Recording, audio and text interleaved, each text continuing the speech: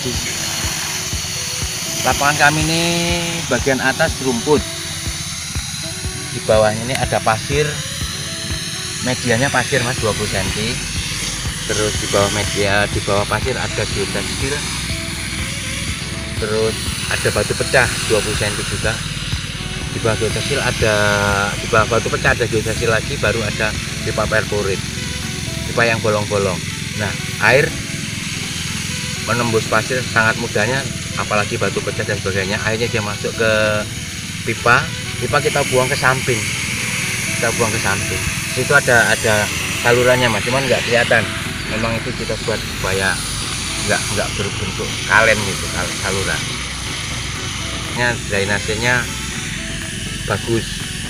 Uh, cuman memang ada beberapa hal yang di, perlu kita perhatikan agar drainase tetap bagus di antaranya kita nggak selalu pakai pupuk pabrik.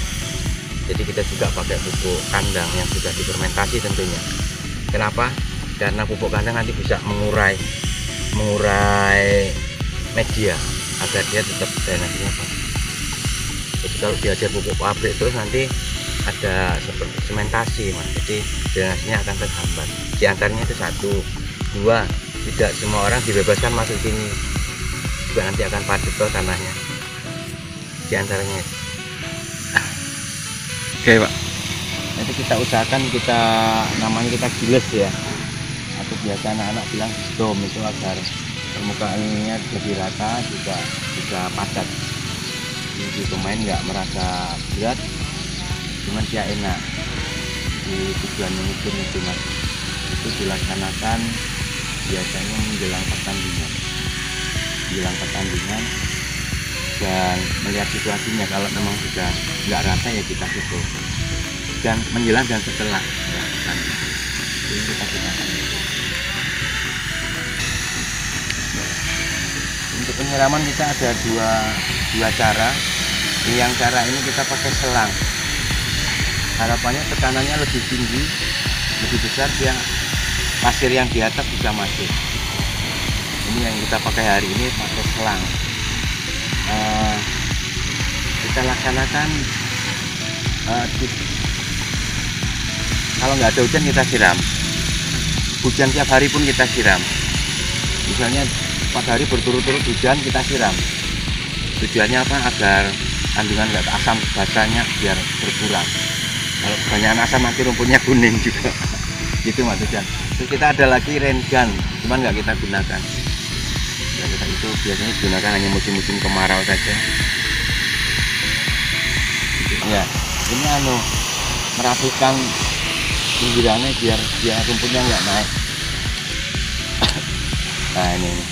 Ambil mencabuti rumput-rumput liar. Karena kalau rumput liarnya nggak dicabut nanti ini akan kalah rumput aslinya kalah mas. Nah, ini terus. Nah ini. Rumputnya ini pakai apa tuh pak kita pakai impor apa? bermuda mas. Oh itu bermuda dari Jepang. Jadi piala dunia final piala dunia di Jepang tahun 2002 2012 itu. Nah itu dia kita seperti itu kita seperti itu. Ini sudah dapat rekomendasi dari FIFA kalau ini layak untuk pertandingan internasional. Begitu rekomendasinya. Bermuda mas.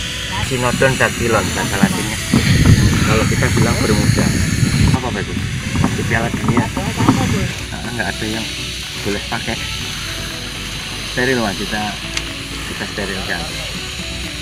Nah, biasanya kalau menjelang uji coba itu apa latihan latihan nggak boleh ditonton mas biasanya.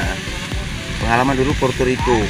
Itu juga suruh keluar semua nggak ada yang boleh masuk. Padahal antusias masyarakat banyak yang pengen nonton. Cuman mungkin manajemennya nggak boleh nanti ya kita usahakan nanti kita tutup kalau memang nggak boleh. Gitu. Ya. Jadi kerja kita ya lihat situasinya. Kalau memang mendesak ya kita nggak istirahat. Gantian terus aja. Yang penting lapangannya rampung selesai